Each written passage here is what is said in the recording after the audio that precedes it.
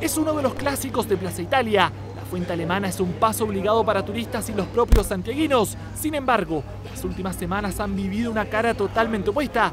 Sus ventas bajaron un 90% y hoy se ven obligados a tomar decisiones respecto al pago del IVA. Ahora conversar con la oficina de contabilidad, decir, oye, ¿cómo lo hacemos? A lo mejor hay que declarar y no pagar, nos van a dar más plazos a lo mejor, pero cuando lleguemos a ese plazo vamos a poder alcanzar igual con el ritmo de venta. Y es que esta convivencia con el IVA para las pequeñas y medianas empresas es un tema no menor.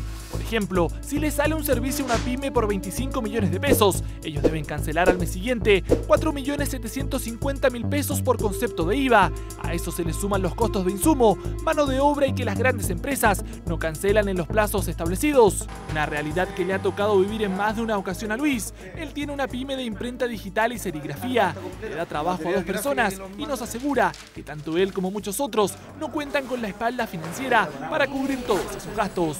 Ya empezáis el mes con el tema del IVA, porque de repente cuando son lucas, pocas lucas, podéis manejarlo, pero ya cuando empezáis a facturar o mover un poco más lucas, eh, te repercute bastante. En este mes por lo menos lo hemos tratado de mover un poco, eh, priorizamos el tema de, de los sueldos. Es por eso que muchos emprendedores optan por créditos bancarios para lograr financiarse, pese a que terminan con endeudamiento y en tienes que hacer eh, movimientos de algún crédito por ahí eh, o, pedir plata anticipada. Para nosotros es, complejo porque Dicon igual te mancha tus papeles, después si querés gestionar un crédito, si querés ponerle, inyectarle luz a tu empresa, te van a ver el Dicon y vas a estar metido ahí. Vivir con un apuro muchas veces. Si yo no cobré mis facturas, no me pagaron todavía y me van a pagar en 30 días más, estoy durante, una estoy durante un mes o dos meses sin la posibilidad de pagar. He de ir al banco, he de pedir un crédito, he de pedir un préstamo, he de aportar capital y es algo que a las pymes por lo general les aprieta bastante el zapato. Momento complejo de las pymes con el IVA, que es una de las principales fuentes recaudadoras del Estado.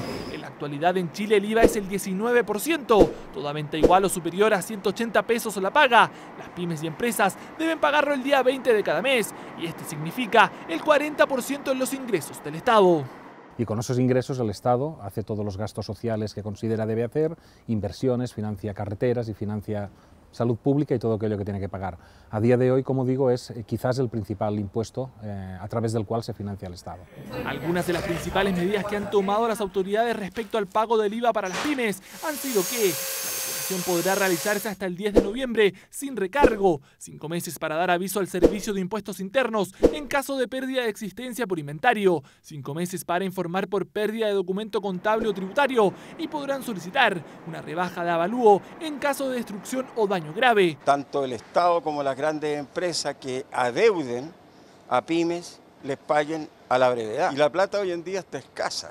Entonces las, pequeñas empresas quedan sin plata en la caja para poder hacer cualquier otro tipo de cosa. Es el presente de las pequeñas y medianas empresas que viven días complejos en su financiamiento, mismo que podría perjudicar los ingresos que recibe el Estado para todos sus gastos.